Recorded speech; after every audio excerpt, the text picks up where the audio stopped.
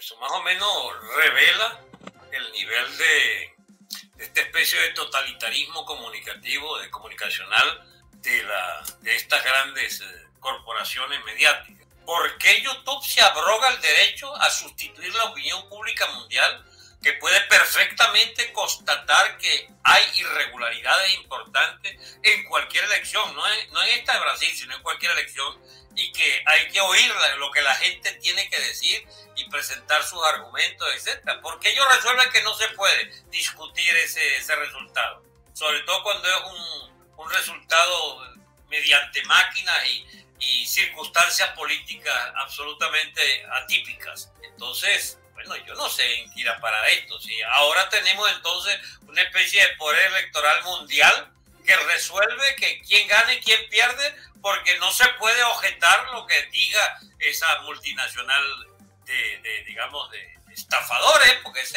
es estafa pura y simple. Entonces, no sé qué, más agregar a la, a la violencia con la que están actuando esta gente. Bueno, yo lo que creo es que por fin están haciéndole tragar a la llamada izquierda eh, sus propias medicinas.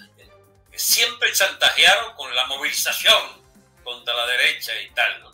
Y es esta vez la, la, eh, la, ocasión en que la derecha moviliza para hacerle sentir a ellos lo que es el repudio popular a una, a una digamos, injusticia o alguna tropelía desde el ángulo electoral o del ángulo eso que están allí no son cuatro gatos, ¿eh? Eso no es una protesta de marginales. Eso es la masa de medio país, Que tiene 170, 100, ¿y cuántos habitantes de Brasil ya? Ahí tienen ustedes varios millones de brasileños manifestándose inconformes con ese resultado de la elección. ¿Qué van a hacer con esto? Yo te voy a avanzar una, una tesis absolutamente quizá inesperada por mucha gente eso lo que quiere es mínimo una negociación.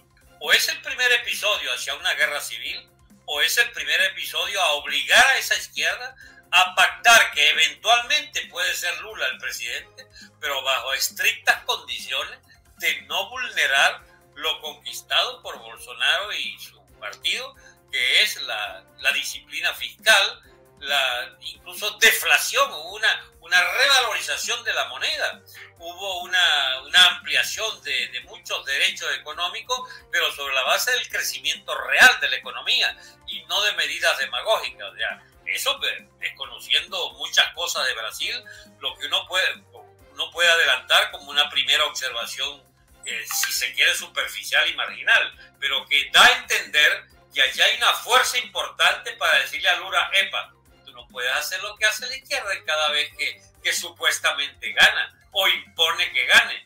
Porque, por ejemplo, estoy convencido que esa etapa, esa, esa situación la vivimos nosotros en circunstancias desmejoradas con respecto a lo que estamos viendo en Brasil. En 1998, en diciembre del 98, se impuso Chávez por la cobardía absoluta de toda la élite gobernante, este, que empezó la noche misma de los de los escrutinios. Yo pudiera volver a echar el cuento lo que a mí me tocó como testigo presencial de ese fenómeno, este, donde, por ejemplo, había todo un dispositivo militar, militar, que podía, digamos, evitar ese pronto, esa pronta capitulación ante Chávez y lo frenó el propio Caldera, porque era supuestamente su yerno, uno de los actores de ese hipotético golpe militar de rechazo al fraude siguió que todo el establecimiento político y sobre todo mediático de esa derecha mediática se vendió a la media hora. Este, yo siempre, no es siempre, cada vez que he podido, eh, eventualmente, por lo menos una vez por año, pues, me preguntan eso y vuelvo a echar el cuento de cuando yo llego al CNE a averiguar quién ha ganado, ya eso estaba sabido no le informaban al público, sino que ya estaba informada la clase política del asunto. Y no, y no toda la clase política, la clase política izquierdista rodeando dentro de, la sede del, Consejo Nacional Electoral a los prominentes miembros de ese Consejo Electoral, donde estaba Pecos, por ejemplo, alborozado con whisky en mano celebrando aquel triunfo. Yo hablando de las 5 de la tarde, ¿eh? Eh, dos horas antes, hora y media antes de, de decirle al país que había ganado Chávez. estaban seguramente tanteando si la cosa podía hacerse pública o no. Y cuando yo llego allí, este, el que me recibe en la sala ahí se acerca hacia mí, el único que conocía, por cierto, era Teodoro Pekov, este, que me dice, cuidado con una velascada, me dice, Velázquez, ¿qué vaina es ese, tío? Lo que hizo Velázquez, chico. Velázquez y que iba a desconocer a Caldera, o, estuvo hablando de desconocer a Caldera cuando le quitaron la presidencia, y él me alertaba contra que yo no hiciera la misma, el, llamado disparate de, de, Chacho Velázquez, ¿no? Bueno, que Velázquez, chico, yo no entiendo lo que me estás diciendo. Que vayas a decir, chico, de, como Velázquez, desconocer el triunfo. Este hombre ya ganó, esto está listo. Estará listo, pero yo no voy hasta que esta vaina no sea oficial, yo no podré declarar, yo era vocero público de, de Total, que efectivamente a la, a la media hora, tres cuartos de hora de aquella conversación, dijeron públicamente que iban a, oficializar. Y Sala Roma no lo podía creer inicialmente, porque habían serios indicios de que hubo un fraude. Independientemente de que no lo hubiera, es más, yo puedo admitir que es muy probable que no hubiera tal fraude, lo que sí había una presión de toda la élite para dejar consagrado que ya Chávez era el presidente. Y tan es así que inmediatamente empiezan todos a, capitular, empezando por la, por la de la Corte Suprema de Justicia, eh, que, bueno, le preparó a Chávez pues la, la, la, situación jurídica solvente para su constituyente famosa, ¿no? y así, exacto. Y la, también la élite militar, la élite mediática de primera, esos fueron los más a la mitad, a la mitad de todo. Entonces, ¿qué ocurre hoy en Brasil? Bueno, que no está claro si ganó Lula o no, no está claro. Y ante que hayan estos devaneos que lleven a la gran eh, eh, derecha mediática a capitular, hay millones de personas en la calle diciendo, cuidado con Biden. Aquí hay, eso no lo hubo en Venezuela. Sencillamente se resignó a que ganaba Chávez punto y no había fuerza de movilización ninguna, porque esos partidos estaban en bancarrota, todo, ADECO, PEY, etc. Y el partido de Salarromer era un partido muy modesto en su capacidad movilizadora. Habíamos hecho una excelente campaña, pero no de la gente en la calle, ni mucho menos. Y bastó que dijéramos, se cierra el capítulo para que se cerrara.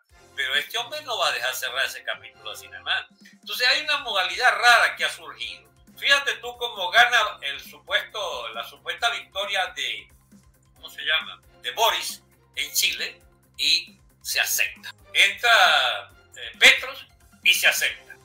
Y entra, eh, ¿cómo se llama? Lula y no lo acepta. O sea, ¿qué pasó allí? Hay una, digamos, un escenario político muy distinto entonces en estos tres países donde gana el izquierdista y pierde, se supone, la tal derecha. Bueno, caramba, casi podríamos decir que se cumple una ley. Mientras más sea la élite de derecha, más rápido se consagran los famosos triunfos de izquierda.